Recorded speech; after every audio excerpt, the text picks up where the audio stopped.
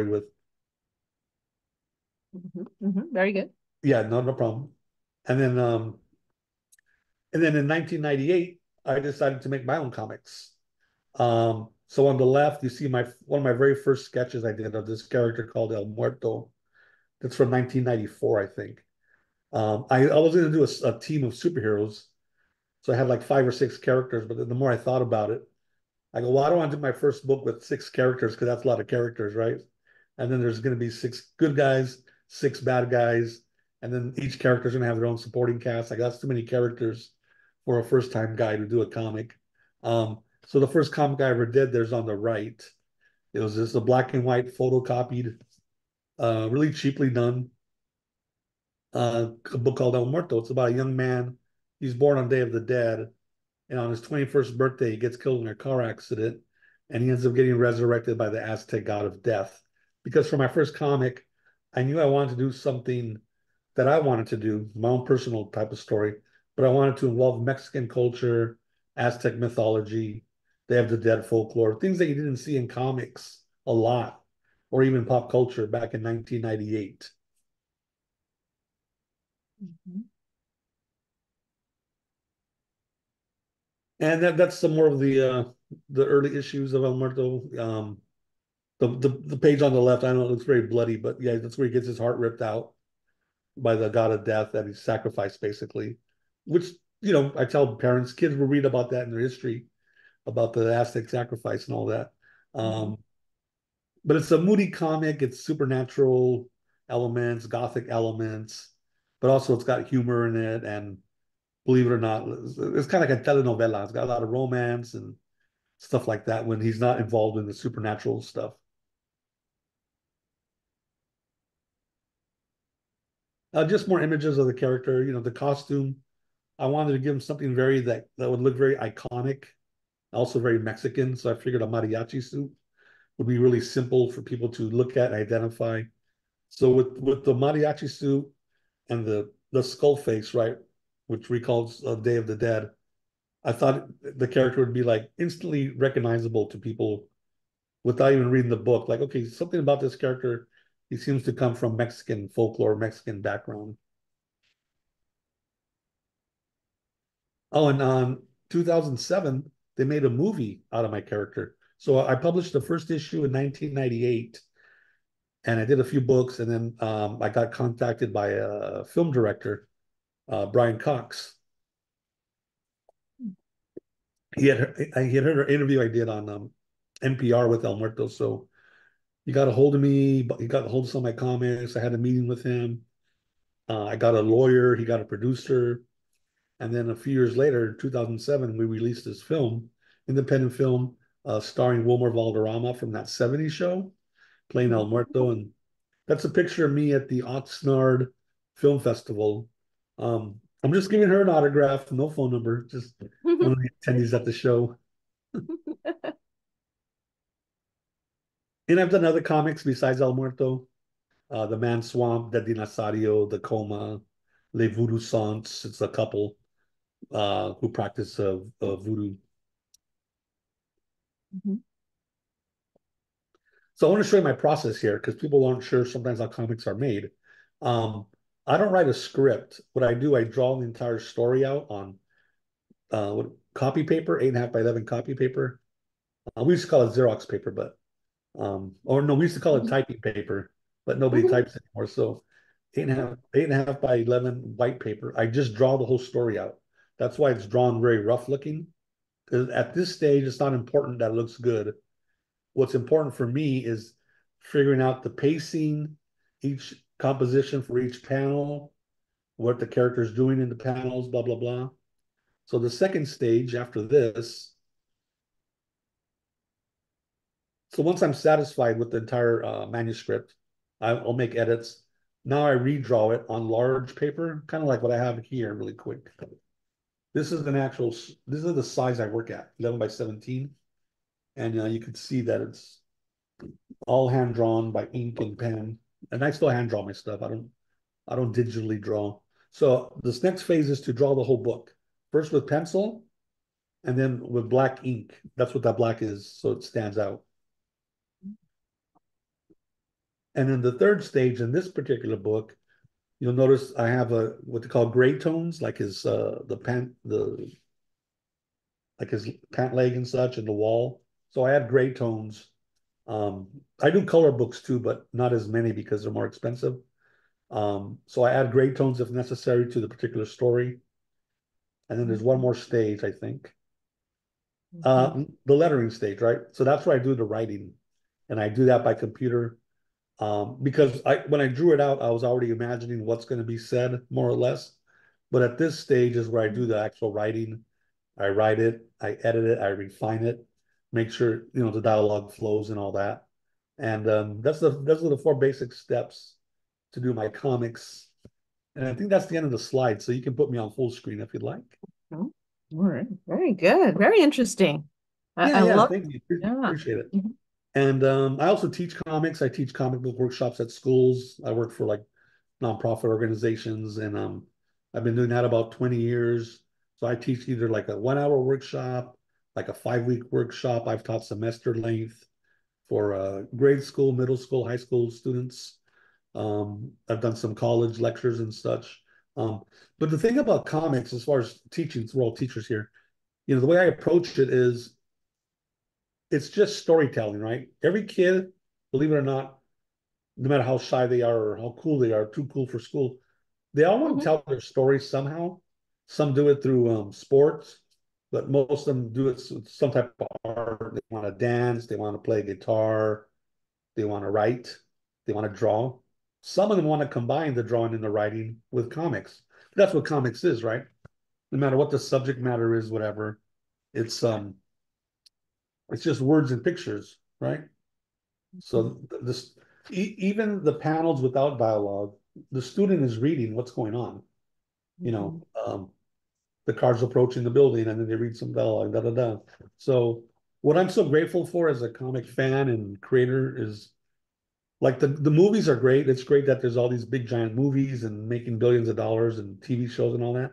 But the real victory for comics is this that you educators are using comics as curriculum, as a bridge to literacy. And that's been going on for a very long time, but it's, it's never been more prevalent than now. I mean, just I'm speaking to you guys and Araceli designed this uh, meeting over comics. Um, comics are taught in universities. Uh, like I said, I've taught them in classes. So because people figured out that comics is a bridge to literacy, but it's also a form of expression. And some, and you know, I, I've taught classes where I'm always surprised what the kids are drawing. Little kids, not even anything profound, but just the fact that they have this idea for the story of these two strawberries, right, that become little characters, and they go about some little episode. To me, that's that's still amazing to see a kid make a comic, you know because that's a lot of work, drawing it and then mm-hmm. writing and pulling it all together. So mm-hmm. anytime that I'm able to, you know, facilitate a class where kids are uh, learning comics, I'm all for that, right? And I'm sure you guys as instructors are always looking for ways to get your students to engage and really to express themselves. Because again, ultimately, that's all comics is. It's self-expression like any other art form. So um, most kids like to draw. There is a certain age, like those of you who work with younger kids, grade school, like they all draw for the most part. And then at some point, I, I don't know what the exact age is, some of them start realizing they th- they tell themselves that, oh, I can't draw as good as her, or you know, I don't feel it's looking right. So they kind of get away from drawing because they don't want to expose themselves. Whereas the rest of us dorks, we don't know any better. So like we just keep drawing through middle school, high school, college, and beyond, make a career out of it, maybe. So um, I think you'll find that, you know, if you come out with some type of program like the zines you're going to be looking at or mini comics, whatever, um, even stick figures, kids will like to tell stories if they can because they got they got these ideas in their head about and like I said, it's not even anything profound. It's just a story of two or three characters engaging in some silly little thing. That's all important um, to facilitate. So I'm glad you guys are all looking at that as part of your, you know, curriculum and outreach to students. Um, Okay. if anybody has any questions, I can take a few questions before I do my next little uh, thing here. I think I've got my timer here. I got a few more minutes. Yes, and I actually wanted to also just, you know, do a little introduction here to Dr. Uh, Cunningham, or, you know, director. I'm so happy to have you here also, uh, always supporting, you know, what we do as TOSAs and as teachers, really. Um, we're always looking for something new. You know, we know our students, sometimes, you know, eh, we need to get motivated to motivate them. And when we hear about something new or something that, you know, we knew existed there and we can use in our classroom, I know I still get excited about trying something new. I was just sharing how to do a comic book using a program that we have called Book Creator to uh, my uh, ELD class. Those seventh graders, this little girl just lit up with the idea that she can create her own book and publish her own book. And I just loved it. I was just feeding off her energy. I also wanted to introduce our ethnic studies coordinator, Ron, uh, who's here with us. Uh, and I'm hoping that he's also interested in in maybe working together with you and then, you know, bringing uh, more of these kind of workshops for next year as we wrap up this year. Uh, but yes, let's see if anybody here has a question. And I'm going to actually go back to our Pear Deck as you all think about a possible question you might have. And I'm going to move the slides over. And One last thing, really, really quick, while they're thinking of a question. I'm, I'm also the co-founder of the Latino Comics Expo. It's the country's first comic convention dedicated to just spotlighting Latino creators. Uh, we started it back in 2011. Uh, me and my friend Ricardo Padilla. By the way, I just learned this morning his daughter called me. He passed away on last oh. night, which is yeah, very oh. terrible news. Um, but um, but I bring up the expo just to let you guys know that yeah, I created this platform where we bring in artists, creators to display their work. We usually mm-hmm. hold it at MOLAA in Long Beach, the oh, Museum nice. of American yes. Art. So yes. um, we were plan- we're planning on doing it in November. We'll see right now though uh, how the family feels about that. But um, yeah, I'm I'm always about giving the the creators a platform and also giving the students a voice to make uh do their comics. All right. Well, let me see if anybody here has a question. So you are you're invited to ask questions or maybe even think about uh, can you see yourself having students do comic books or graphic books in your content in your grade level think about maybe something that you're working on right now right uh, a unit how can they use some a platform like this or maybe even in the future so a couple ways to share you can go to our Pear Deck and put it on this slide you can add your response on chat or even better how about you unmute, even better, unmute, and you can even turn on a camera and, you know, ask Javier a question. So I'm going to pause right there. Let's see if anybody has a question. I just want to say thank you, Javier, for being here with us. Um, it's really exciting to see um, writing being done in a creative way, unique styles, and giving students the opportunity to invent and innovate and create. Um, and we know from the research that the biggest thing that um, companies are looking for, the number one thing is creativity. Um, mm. And thank you to Araceli for uh, bringing. We know um, I've seen some of the zines she's shared over the past, I think, year now or so. Yeah. And so to have you here bringing, you know, expertise to different ways that we can help students with voice choice and agency to create and like you talked about the connections and then also with ron here too this is a lot of bringing in ethnic studies too to writing and literacy across content. So thank you so much for being with us. Thank you. You're very welcome.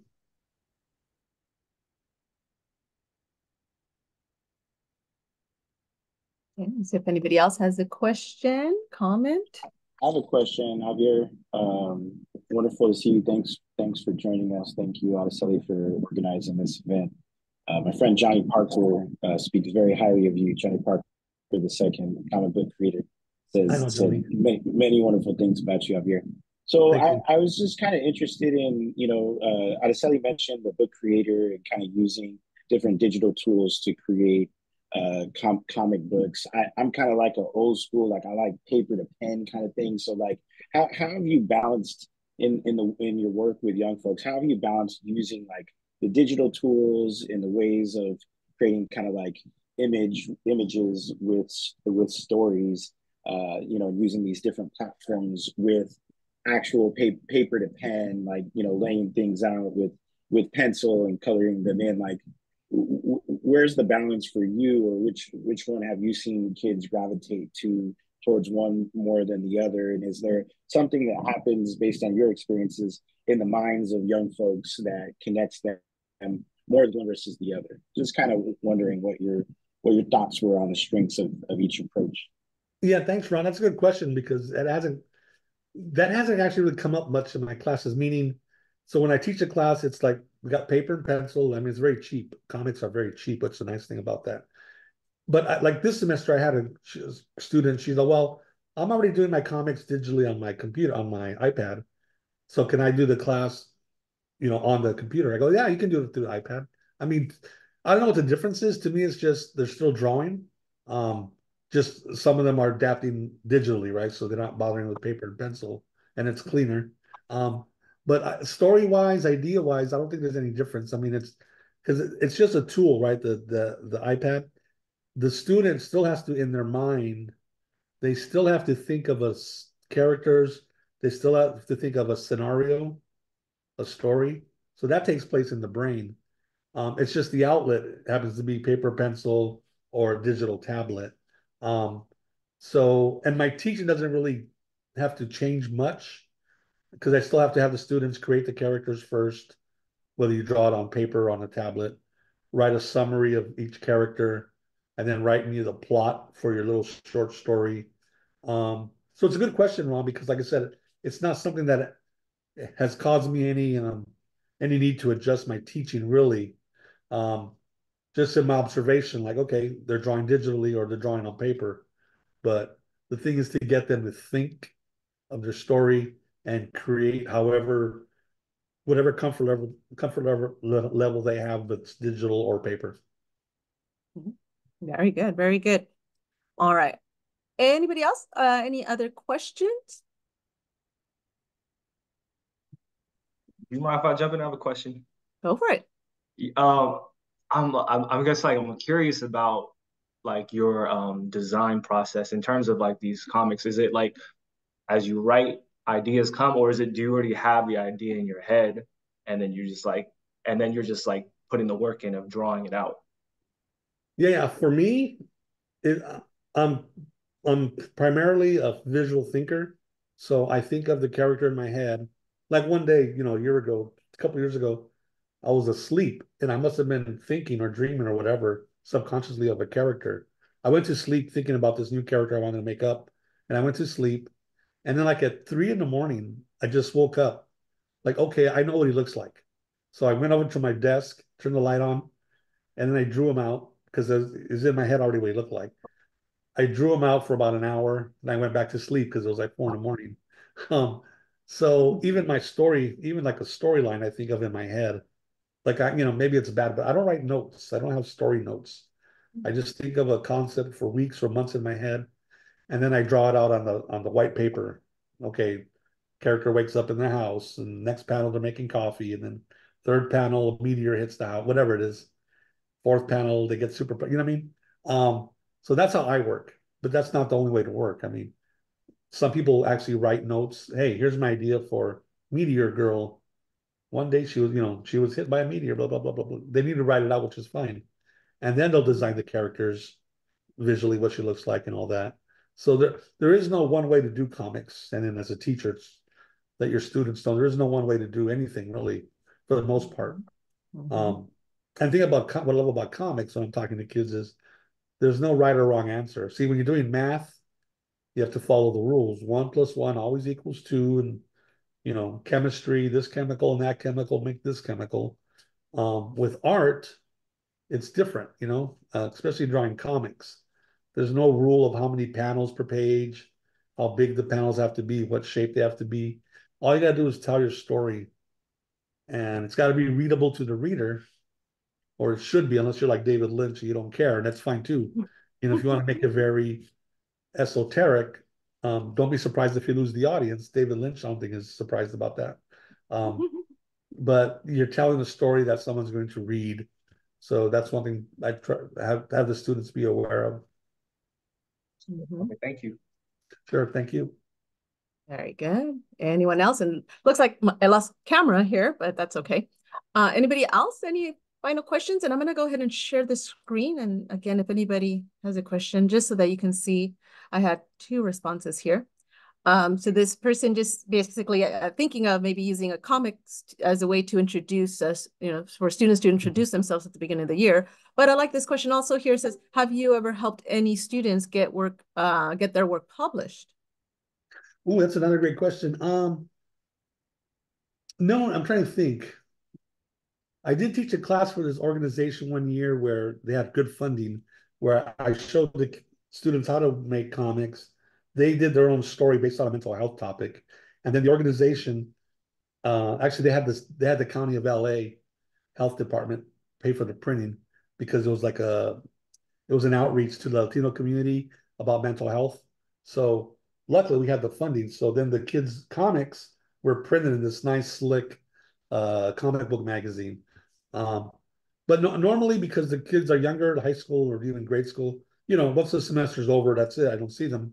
Um, sometimes I get years later, I'll get contacted years later with the kids in college level. Hey, Mr. Hernandez, you don't remember me, but I used to do this. Um, but no, no one's actually reached out to me for help with printing or finding a publisher. I mean, they'll just chime in and say hi and you know how much they appreciate this the the the class. But yeah, I haven't had an opportunity or circumstance where I've actually helped someone get published. That's that's a very good question. I'm sure it'll probably happen one day.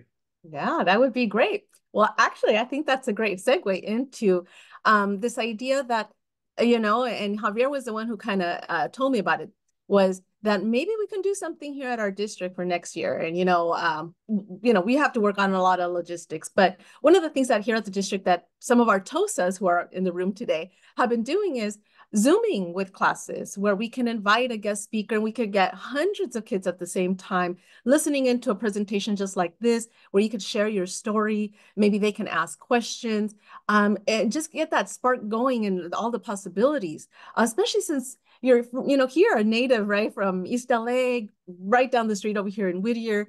Um, how exciting, you know, would that be? The other idea, which, you know, I'm a big dreamer. I love, you know, these big possibilities. And that is, uh, Javier mentioned, you know, what if we hosted like a Comic Con at, you know, one of our schools? Uh, maybe start kind of small. Maybe each school starts their own little, little lunchtime Comic Con. Kids create zines or these uh, book creator programs and they could share, right? I love that idea of having a book fair from students, their, their own work, right? Uh, and able to display it now because of you know, all of our tools that we have, uh, kids can display their work. And so that would be exciting to have, maybe even bring in some local artists to share what they're doing. So I wanted to just plant that seed in everyone's mind, like uh, maybe if your students start creating these and you have those kiddos who are constantly doodling, that sometimes we as teachers say, put that away, right? And instead tell them, guess what, kid, don't put it away, do Mhm. more, right? And share it with the world. And so maybe, you know, if anybody here is interested and, and you know, wants to be part of that, maybe we can organize a little Comic Con, Anime Expo, right? Zine Festival uh, sometime next year too. How does that sound to you, Javier? Have you done those kind of things? Yeah, yeah, I've done those uh, presentations at schools where I would show up and then, uh, but I've done library shows where you get a couple of artists together and yeah, let the public interact and like you said, show off their own work. That's a great place Yes. to do that. And just to, I- and you know, I always like to share this story. A couple years back, I had this young kid who had a little video camera all the time. And as an English teacher, I always had kids make little mini films. And, you know, he was already very creative. Well, he ended up going off to college and he is one of the main actors in the Umbrella Academy, uh, David Castañeda. So we talk about superheroes, and I kept telling him, "Oh, you need to do a superhero movie. We need more Latino superheroes." Yeah. So Mhm. you know, we never know who's sitting in our classroom. We never know how we can tap into their their creativity, and, and maybe they make some you know great things out, of it. Uh, so uh, unless there's any other questions, are there any other questions out there? Uh, and if not, I'm going to go ahead and move on to the second part of this workshop, which is how do we actually make comic books? So Javier, thank you for joining us. If everybody can give them yay a little a little applause there, and Thanks, give me one everybody. second. Give me one second. Let me take a quick say cheese, everyone, if you're able to give me a second, turn on the camera, just so we can say thank you to our guests here. And uh, if you could turn on your cameras, yay. awesome, awesome. Thank you, thank you. Yay. Uh, and I know my own kiddos would love to be able to do, you know, comic books in the classroom uh, and share their work. All right, let's do a quick little, quick little cheese. Here you go. Anybody else want? I'll do a little. Yay. Thank you, everyone. Uh, Really quick, uh, I'm gonna leave you guys to your to your studies there, but uh, I'll be at, in Anaheim at the uh, Anaheim Public Library on uh, April 27th. They have something called Anacon, so it's gonna be a little Comic Con inside their library. Uh, that's Anaheim Convent Anaheim Public Library, April 27th. I think it starts at 11 a.m. But um, if you have any questions, you can ask Araceli for my email. Be happy to talk to anybody about anything. So uh, thanks everybody, and you guys are doing great work. Bye bye. Thank you. Thank you, Javier. Thank you. All right. All right. Yay. All right, everyone. So well, I'm going to go ahead and jump back in. And if you have any questions, you can always, you know, put those in the chat. But let's talk about, um, so how can we use this, what we just talked about, uh, in our classrooms, making lessons, getting kids to start writing, maybe making their own. So um, give me a thumbs up if you have heard or used Book Creator. Is anyone familiar with Book Creator so far? Let's see if anybody knows that. Give me a quick thumbs up on uh, on Zoom here. It looks like not. Uh, so it the program that we currently have that's free for teachers. We haven't, I believe, and Helene can correct me this. I don't know if you know about this. We haven't purchased it yet. but We're looking at it. Um, it it there is, you know, free one also that teachers can use at a limited, you know, uh, use. But I wanted to show you just some of the things that you can do with Book Creator. Uh, so let me just kind of share some of the lessons. There's actually a little digital book called 50 Ideas that you can use with Book Creator. I'm just going to read some of these are out. For example, instead of having students write a lab report, which is important also, but what if they wrote up a science experiment on a digital book format where they have to write the steps of their experiment? What if they had to come up with their own math problem using images as maybe math riddles? Here's another one. What if they had to give instructions on how to play a sport or use some kind of tool in PE classes? How about creating a comic book like we just said? Here's some more ideas. What if they took pictures and then they had to explain their artwork or their digital pictures, right, that they're creating? Um, they can make poetry books and add images to the poems that they're writing. They can use Book Creator to collaborate with one another. What if our older students created books or read books to our younger kids or vice versa? Here's an idea. I love this idea where the kids created a little monster, a little creature, and the older kids actually made the book for them and read it out loud. So a collaborative type of work in our between our schools. Or how about going global? We talk about NPDL, uh, right? And breaking down maybe the four walls of our classroom, right? How about collaborating with students from other parts of our city, our state, right? National, and, and kind of coming up with different topics uh, and writing a book. There's actually ways to create an anthology of stories within your classroom. So let me show you here. I'm going to just talk you through the, the different aspects here, but I'm actually going to jump onto Book Creator. So you can find Book Creator on ClassLink right now, and so can your students. So you're going to click on that icon, and I'm going to walk you through first the Discover templates, then where you can find some support, where you can actually become certified and get your free account, right? So that's kind of cool. It's a two-hour little um, module, if you will. And then how you can start creating your own libraries. Please stop me along the way if you have any questions, right? Um, and I will answer them. All right, so I'm going to go over to, so if I go to ClassLink, there it is, Book Creator, all right? And so here is my Book Creator account. So right now, all teachers, HLP USD, have an account, have a premium account. So this is where I'm at. I'm going to click on these little three lines here, and this is kind of like that home page, all right? Now, as you can see here, this is the library I've kind of been building. I'm going to start here with Discover. So if I go to Discover, I want to show you all the templates that already exist. So here I can scroll down. I could go based on different subjects. I could go by grades and I could show students some samples. And I'm just going to go here to literacy and just show you again some of the things that you can do that students can create or you can do for them to read, right? You can also have them just read. I just love this one. Here's a middle school one. And I really like this dinosaur one. So this is what the product would look like. So once the students have created, and again, this is all, this is created by a student, okay? So they get to choose the pictures, the layout, the cover. I love the fact that it turns the page this way, really cool. Take a look, notice that it has a read to me feature. So the program will, again, they can hear their book being read to them. So the student created all of these, right? Just put on some Google searches, they can embed video, right? They can embed in, embed information. So, you know, I know sometimes we have students do Google slide presentations.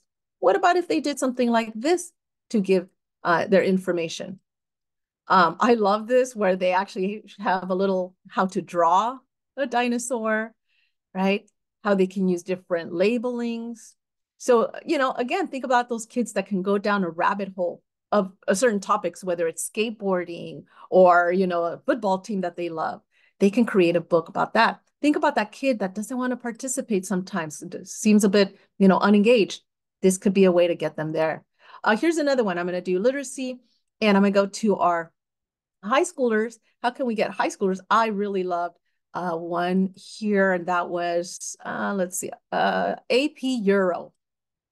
So notice how many you know times this book has been read. So the kids get you know little uh accolades there. They can see how much they get viewership.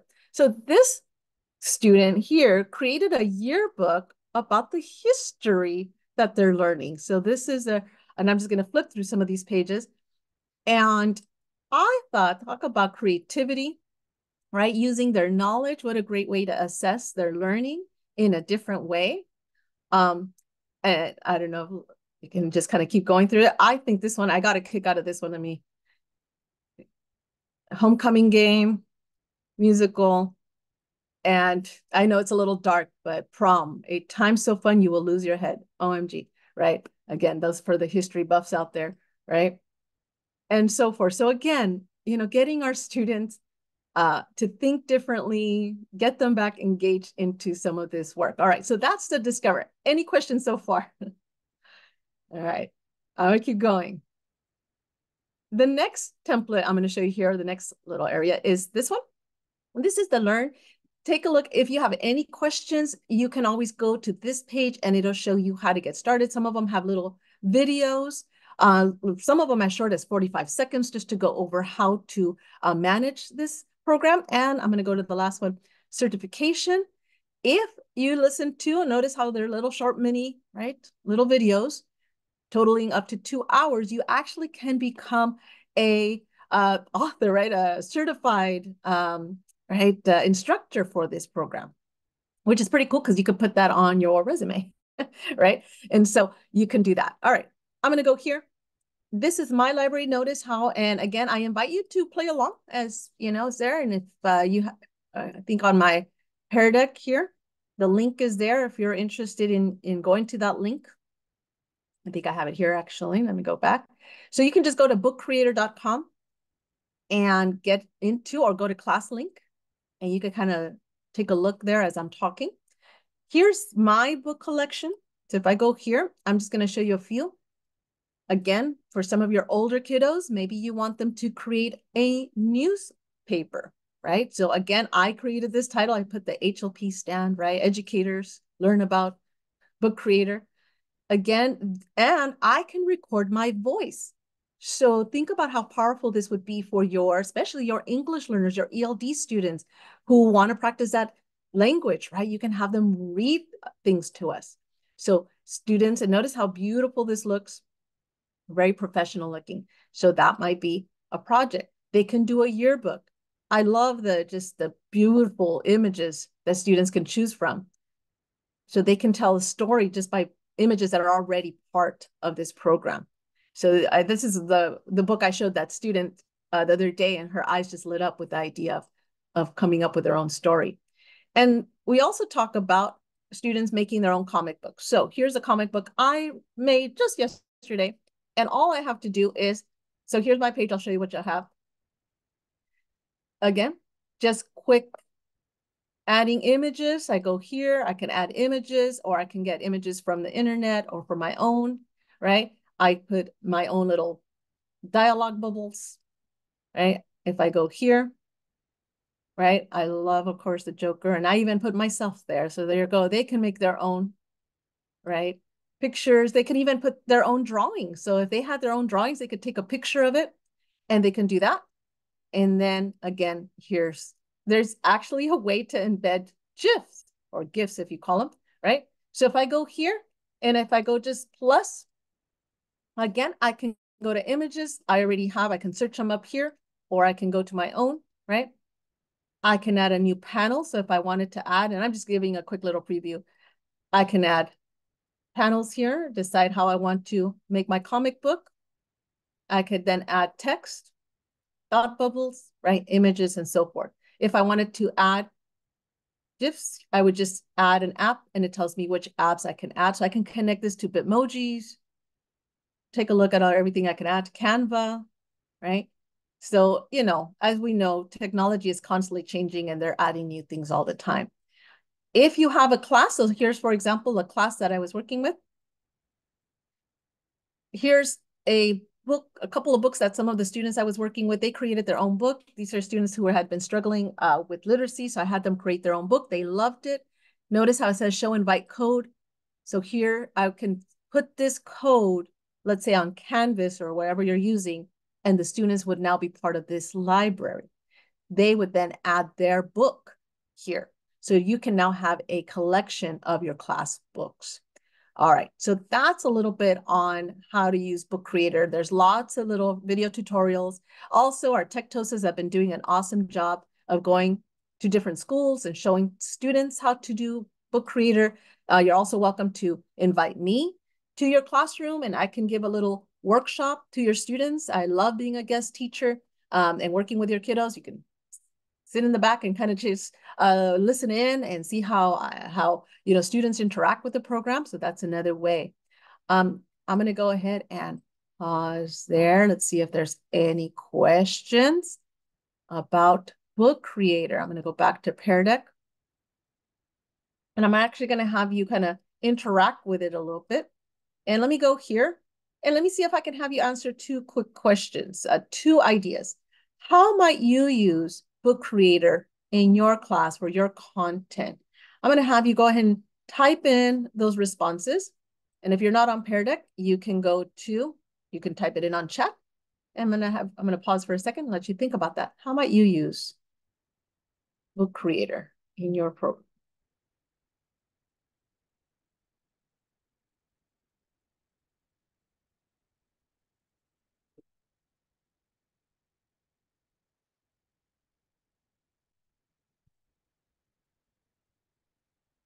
Uh, the question is, yes, you should have a teacher accounts through uh, HLP USD, just using your, you know, logging in through your email, or if you go through ClassLink, you should be able to get on there.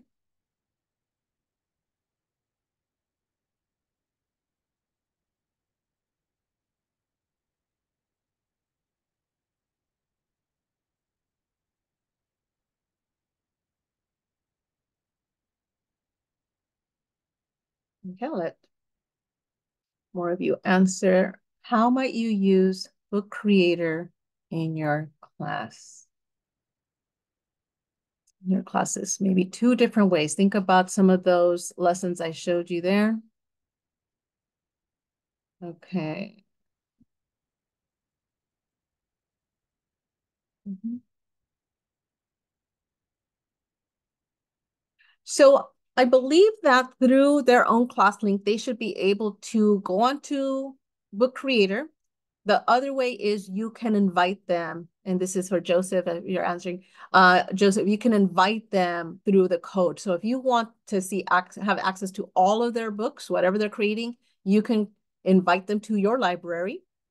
Or if you want them to just kind of play with it and just kind of explore the site, they can go on to ClassLink, go on, click on um, book creator. That's the way I had those two students. So these are two students I'm working with uh, as case studies. And I just had them log on. They were able to find book creator and I gave them the code and they were able to share it. So I do believe they have access to that. Uh, yes. How might you use this as a right multi-genre project? Yes. And like I said, there's a way that you can create an anthology. So let's say, you know, all of your students are writing about, um, you know, farewell messages to incoming sixth graders, right? Like, what would you, how to survive middle school, how to survive high school, right? You can actually combine all of their books. So there's a way to combine and make one book. All right, I'm going to go ahead and go back to Pear and let's see what we're saying here. All right, so how might you use Book Creator? All right, and be ready for me to maybe call on you. It says, I'm already getting ideas for having the kids write narratives. Mm -hmm. All right, yes. So, you know, think about the units that you're doing right now. I know this is through StudySync, right? They're fascinated with Egyptian life, right? And I, I think about it, I mean, we just had this awesome event, right? The solar eclipse and how did different cultures uh, view an eclipse, right? Or or how they view the afterlife and, and so forth. Definitely for narrative writing, comic book of a historical figure's life event. Yes. Having students create an end of the year uh, book where they teach the class about something that interests them. Very good. Mm -hmm. Yep. Unpacking a complex text using short, short speech bubbles and give, gifts. Yes right? Um, they, they call them, I think I saw it named uh, book snaps. Uh, and that is one of the 50 lessons. We'll go back to that uh, page um, where you take a part of that story and you can analyze it using those thought bubbles. Students could retell a story in modern times, yes. Read Across America book to read to primary classes. Mm -hmm. Creating step-by-step -step, for how to solve math problems creating a class book of vocabulary words in another language. Yes. Students could write a short story about an SEL skill being discussed. Yes, right? Awesome. I love these. Explain the different types of waves, sound, and light, creating a story of the solar system. Awesome. All right. I love these ideas. Keep writing them in. Sure share some more. Okay. So again, um, I'm going to go back here book creator, right? Uh, this idea of of uh, having right um, different ways. If I go back to discover, this is where you can find every day they come kind of have new ideas. This is where I found that 50 ways to teach, right? To use book creator. So you can see here, um, they have some great um, templates, right? uh, it, some of you talked about like how to introduce students to each other as a beginning of the year. There's templates already, books for that. Here it is, you know. Uh, and so great, great stuff that you can just explore. Uh, I had a teacher like, I want to use this tomorrow. yeah, right. And kids, it's pretty intuitive, so kids pick up really quickly how to how to use this. I've taught these kind of workshops in fourth grade classes, fifth grade classes, and before I know it, the kids have already did it all before I even finished explaining all the steps. Okay. All right. We have a little bit of time. I'm going to go ahead and uh, talk about the second half of this, and that's going to be how to use zines. And then I'm going to have you make something. Okay. So before you leave, if you can make something either on Book Creator or on uh, zines. All right. So let me go here. Okay. Let's talk about what in the world is a zine. So one of the things I do talk a lot about is tech fatigue. I want you to think about this for a second. If you have older kids who have cell phones, and they're using laptops all day in the classroom because a lot of teachers are now using uh, different apps in the classroom. Kids can possibly go all day long on a laptop, all day long on a screen, then on their cell phone, then go home and do more cell phone. Uh, maybe they're watching YouTube videos, maybe they're on Instagram, maybe they're video gaming. My goodness, talk about too much technology. So how do we get kids off a little bit, right, off the screen? Well, one way to do it is through this thing called zines, short for mini magazines. And so here are some examples, and this is just using a sheet of paper. And so there are different types of zines that you can make, and I'm just going to list some of them here. So they can do photography. Notice how they can do mixed media. So they can take pictures, they can do drawings, they can get pictures from magazines, right? So think of it kind of like collages. They can do political zines, social zines that they're really interested in, you know, animal rights and so forth. Fan zines, they're interested in certain music, right? Certain, like we said, sports or hobbies. Personal zines, uh, health zines. So you can choose a topic for them or they can do their own. Again, here are some other ones, right? So again, just a sheet of paper. I'm going to show you how to do that. Okay, again, you can get your little ones to do zines. Here's more, more sophisticated ones, right? More artsy ones. And what I'm going to do here, uh, so this is my sister-in-law who actually does zine workshops at libraries. And again, it's become a very popular uh, hobby, right? And I'm just going to show you more. This is a zine workshop. So I want you to think about yesterday, right? Um, all of a sudden, no internet, right? Uh, yeah, I know my camera's not working, so that's why I can't have my camera on. I tried, uh, but just here, imagine yesterday, you know, no internet, can't use the apps, can't use Google Slides, whatever.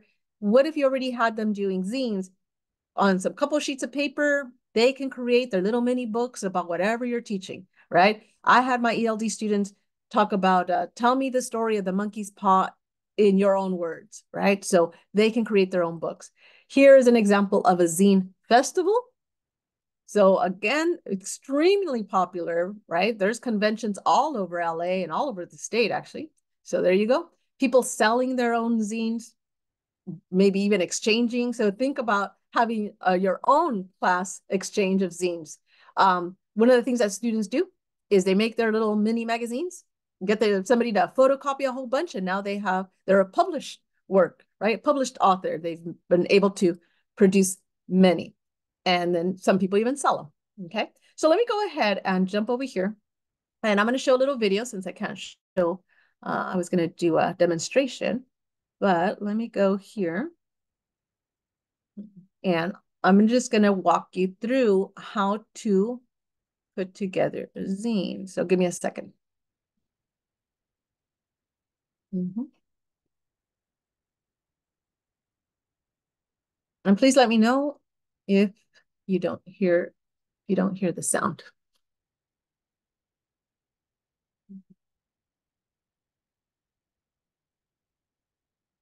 Give me one second and we are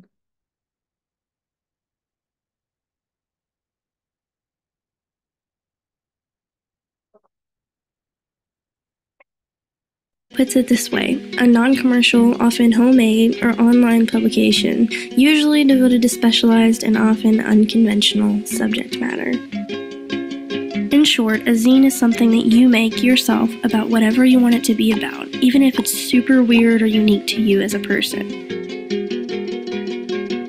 People will often make zines about topics or communities that mean a lot to them, such as feminism and human rights. However, you can make a zine, for example, about something you're a fan of, referred to as a fanzine, or even a zine that's just about you and your life, called a personal zine, or perzine for short. Artists will also create zines to distribute their work, whether they're illustrators, photographers, writers, whatever you can fit into the pages of a zine goes.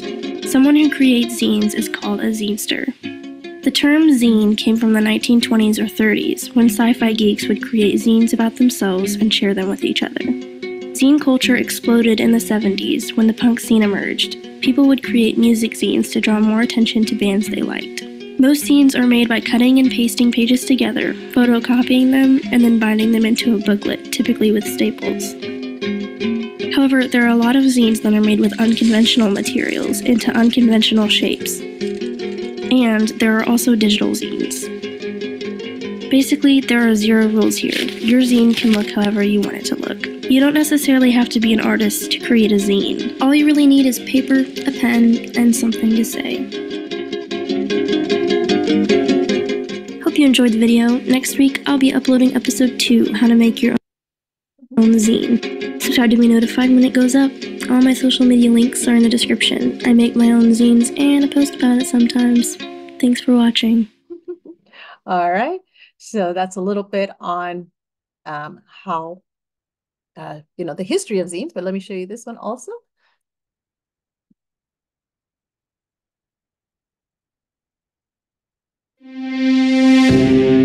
Making. It's so much fun. All you need is one single piece of printer paper, 8.5 by 11 inches. With this, you can make an eight page zine, believe it or not. So, how you ask? It starts with folding.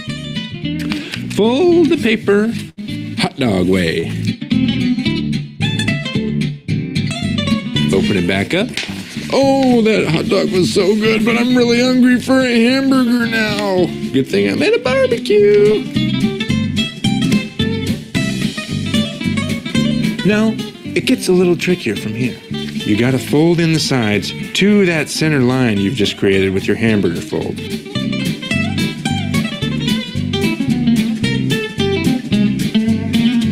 Open everything back up.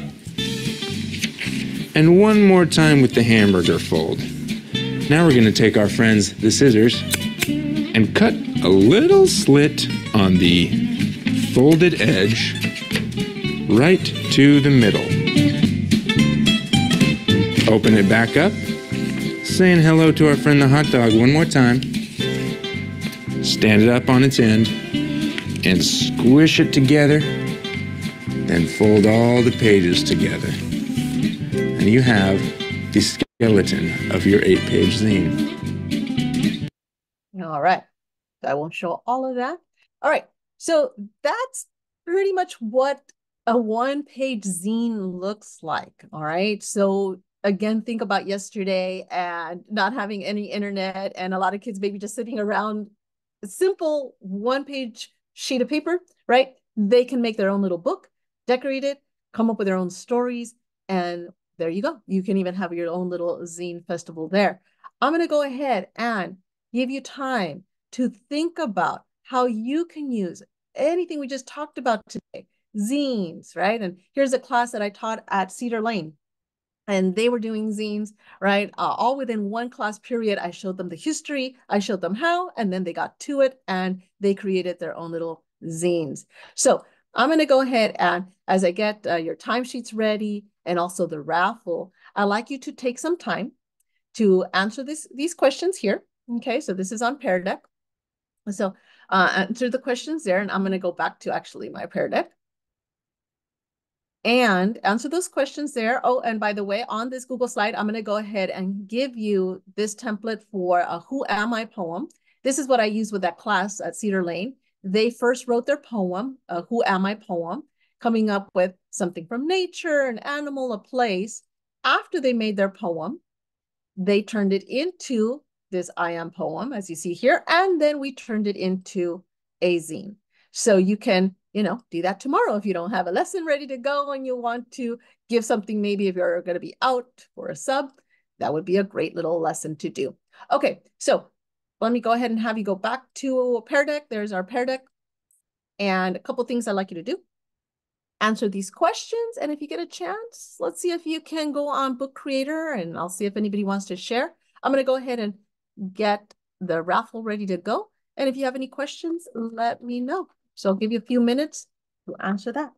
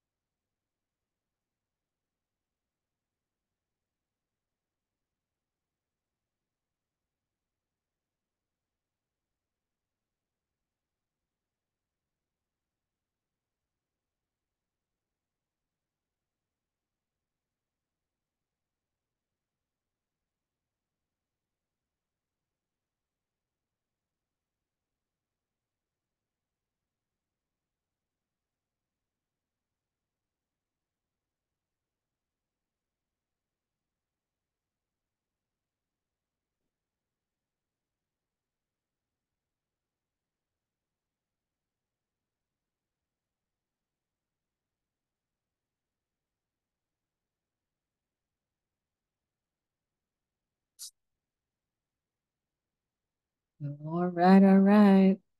Let's see. Okay, we're getting ready here to end in a little bit. Please stick around till 5.15 to get full, you know, credit for all your time. So keep, you know, using uh, Book Creator and Explore, answer those questions. I went ahead and sent out the PD uh, timesheet. I will also email it to all of you. Make sure I see your first and last name, just sometimes I get double um, last names. Uh, make sure I get everyone paid. And if you've ever attended one of my PDs and didn't get paid, just let me know. I could send you a, a timesheet. I know they don't like it when we send old ones, but you know, it's your time. So again, uh, I will be sharing what some of you are saying on our Pear Deck. Which which program did you like best? Do you like uh, Book Creator? Of course, has a lot, but you know, something about doing something physical, such as a zine, is great too. And I have a lot of sample zines. So if you ever do want me to come in and show your students all the different ways that students have made uh, these zines, I do have a collection of them. And I am going to go back to our Pear Deck. And I hope you're not too shy, but I am going to call on some of you, see what you're kind of sharing there. Okay. All right. And I'm going to go here. Da, da, da.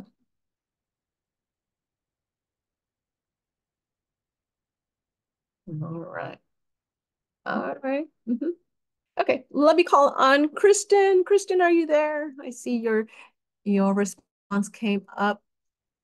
What did you think about these uh these tools, these strategies? I don't know, can you hear me? I can hear you, yeah. Oh, okay, good. Um, I just needed the review of the the zine. I liked looking at like exactly how they did it. I've done it before. It's been a while. Um, and I also like the idea of using local art authors. Yes. That the kids can really connect because I know that there was I know that there's a Filipino one. And then I didn't realize, oh yeah, there's a Filipino guy who made like a bunch of um and they turned into movies and it was and then once I heard about this guy, I was like, oh, same thing. So I can reach out to Yeah. Two, I have Filipinos and I have Hispanics in my class, and I was like, all right, that's already two Yes. down, and I can get Yes. more. I, and somebody was just asking me that question, like, how do we, you know, keep work relevant and, you know, especially our curriculum? I say, look at your audience, look at your students. Yeah. What are they into? Who are they, right? They might know people too, like, hey, my uncle, my mom, my brother, right? And getting them as guest speakers, how beautiful that would be. Thank Yeah. you. Thank you. Awesome, Kristen. Well, let me see who else here. All right. Uh, let's see. Da, da, da. Very good. Da, da, da. Okay, using a creator, right? Book creator, printing them out. Yes, they can print them out, right? Mm-hmm. All right. If anybody else, you can kind of, you know, shout out there. Yeah, students could add videos and GIFs. Yes, that's always kind of fun. Yeah. Uh, let me call on Sarah. I like your ideas here. You said uh, book reports, right? Uh, using book Reader. Uh, Yeah, I, I like that idea of using the book report or uh, I forgot who had mentioned it as a comment in there. Um, but then using it as like an introduction to themselves at the beginning of the year for thinking about next year. Yes, yes, yes. Yeah, right. I think about kind of the, you know, we sometimes get stuck in the using the same things. Like maybe they're always using Google Slides. Maybe they're always using, you know, uh, writing a, the five paragraph essay. Not saying that they don't. They should, right? They should know how to write the essay. But if you look at, you know, even CAASPP, some of the performance test questions are, in fact, one of them I just read was um, pretend you're climbing Mount Everest. Here's a bunch of information about Mount Everest. Write a narrative as if you were climbing Mount Everest. Well, why not make a book out of it? So they can still develop their writing skills that will prepare them for those high stakes exams, right? As long as they keep on writing things that they love, right? All right, guest speakers, yes. Yeah. I like that. Some people like that Comic Con idea. Mm -hmm. Using Canva, yeah. Okay. All right. All right. Yeah. Uh, I was just thinking like how they can maybe even uh, say they have a favorite uh, song, how they can create a little comic book based on the song that they're listening to and how they would, you know, using that imagination. Mm -hmm. Yes, uh, Sarah Sale, that's uh, the class I went to go visit. Uh, tell us a little bit about what your students thought about that little workshop. Uh, Yeah. um, the kids really enjoyed making the zines. Um, I think it was just another way of expressing their ideas. Uh, the students that I have in my class are pretty artistic already. Um, so it was, they were really excited to kind of create their own books and their own Mhm. stories. Um, and they make them all the time, even outside of class. They make their own zines and come show me, and it's really exciting to kind of see how they're expressing themselves, uh, um, even with their own ideas. I love that. Yes, you just, you know, you never know. Kids uh, take an idea from you and then they just keep making it their own, right?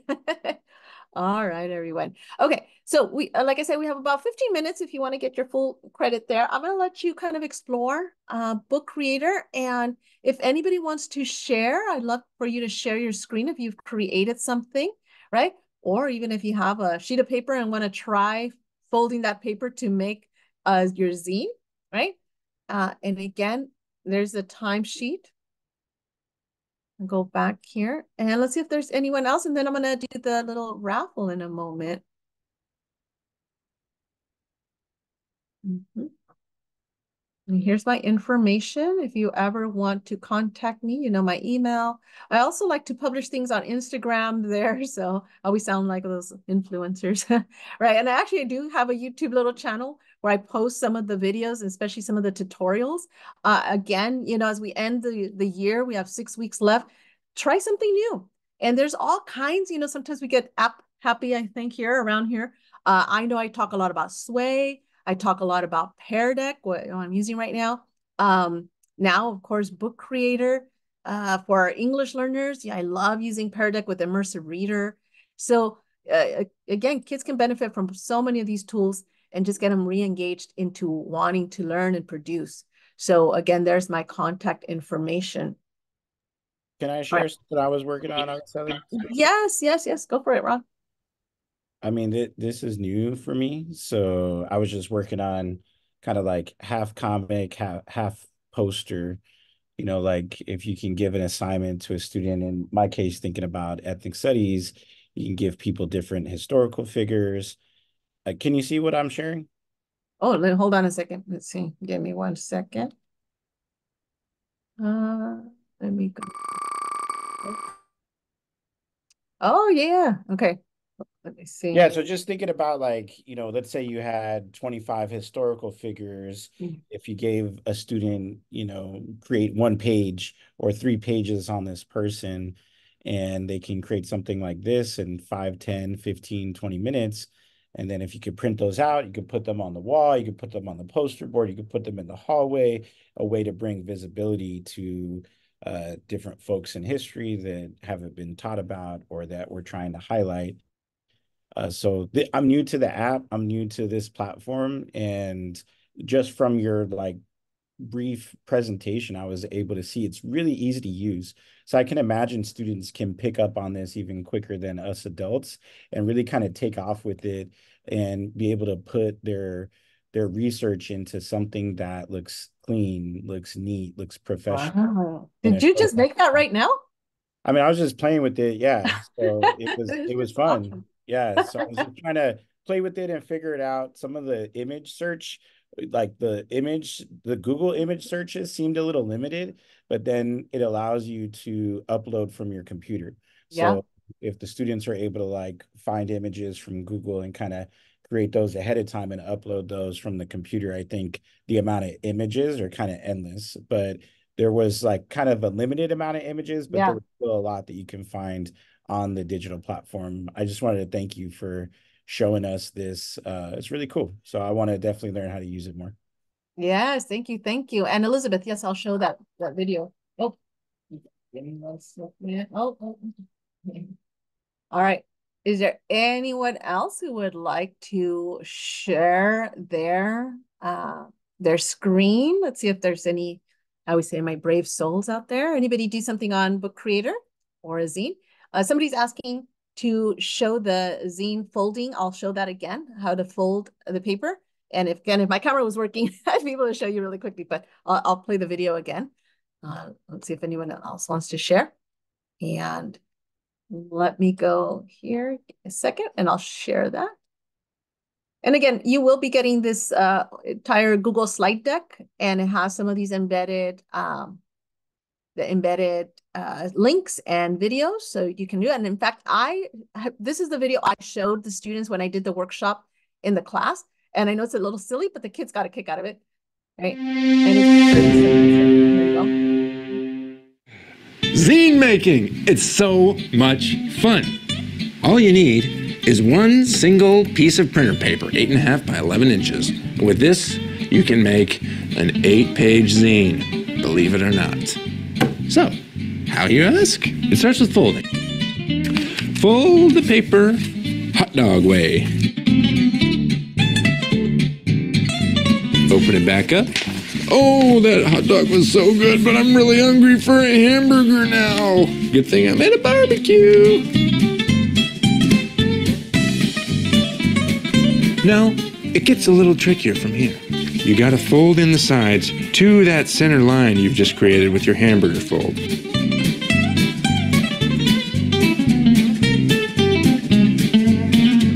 Open everything back up. And one more time with the hamburger fold. Now we're gonna take our friends, the scissors, and cut a little slit on the folded edge right to the middle.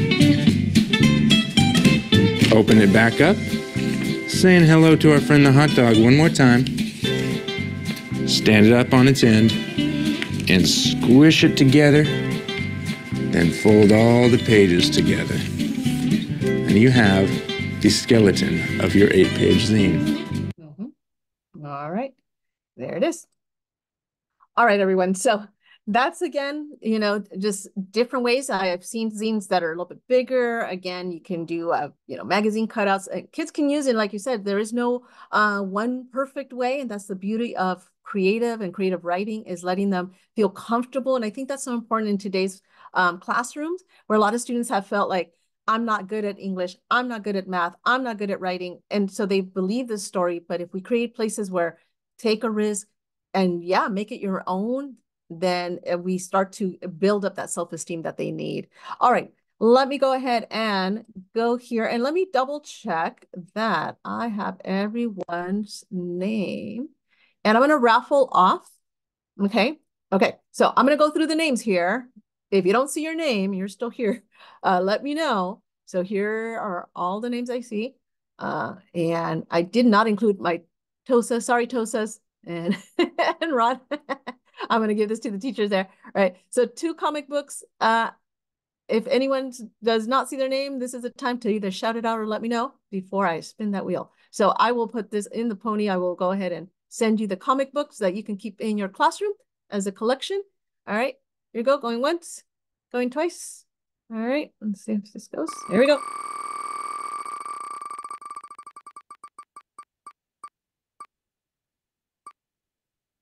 All right, looks like Christina. Yay! Yay! Yay! Congratulations! All right, here we go. One more.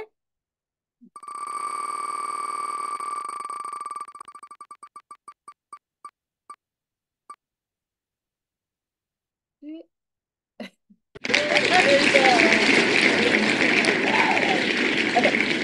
Thank you yes. so much. yeah, I can see the excitement. all right. Thank you, all of you, especially those of you who've been attending all these, you know, different uh, PDs that I've given. I hope to do many more. And I'm definitely going to look into having some kind of a Comic Con here, Anime Con, something. Uh, we'll work out the details. But thank you all. Have a great rest of uh, the year. And as always, you can always contact me if you want any one-on-one workshops and so forth. Again, stick around for another few minutes so that you can get uh, that timesheet. Um, yep. And feel free to do quick shout outs if you've used any of these programs. Thank you. And don't forget also, last thing, I also am doing the last edition of our ELA newsletter. So if you have anything you'd like to share With others, I love to highlight what you are doing in the classroom, what your students are doing. So if your students are doing, uh, I know Ron talked about doing pop-up books. He's done pop-up books. If you're doing any kind of, you know, projects, things like that, please email me. I would love to do a little highlight. All you don't have to do anything.